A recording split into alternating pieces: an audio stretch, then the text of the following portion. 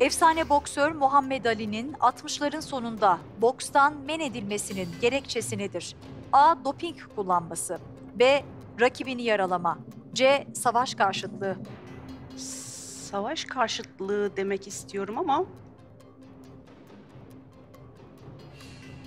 Ee, hiçbir fikrim yok.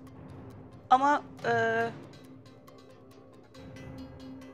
yaşam ee, biçimi olarak vermiş olduğu mesajı düşününce ee, doping kullanmıyordur diye düşünüyorum.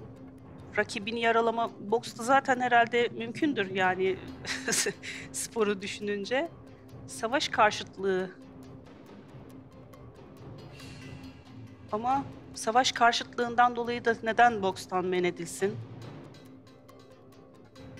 Bokstan men edilme, doping kullanması direkt bir men sebebi. Çok Jokerinizi kullanmak ister misiniz?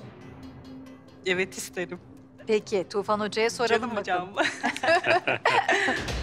Evet iyi bir yaklaşım yani bu canım hocam kısmı. Evet. Evet doping e, sporcular tarafından kullanılması yasak olan maddeleri içeriyor. Ve tüm dünyada genel olarak kabul görüyor ki doping kullanımı yasaktır. Sporcu e, aktivitede bulunduğu spor dalından da men ediliyor. Ancak e, Muhammed Ali e, hiçbir zaman doping kullanmamıştır. Ben A şıkkını eliyorum. Teşekkürler hocam. Bu durumda rakibini yaraladığı için mi yoksa savaş karşıtı olduğu için mi men edildi? Buna odaklanalım. Evet. Dopingi ben de hiç düşünmemiştim zaten.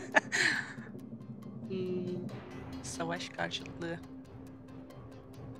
Böyle savaş karşıtlığı bir beni seç diyor ama